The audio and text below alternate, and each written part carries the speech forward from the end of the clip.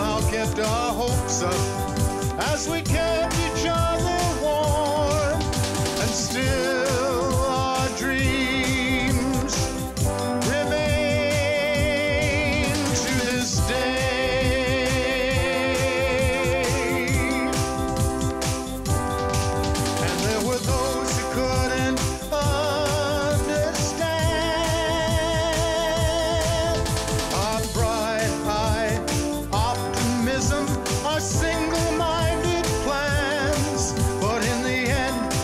stuck together all the way.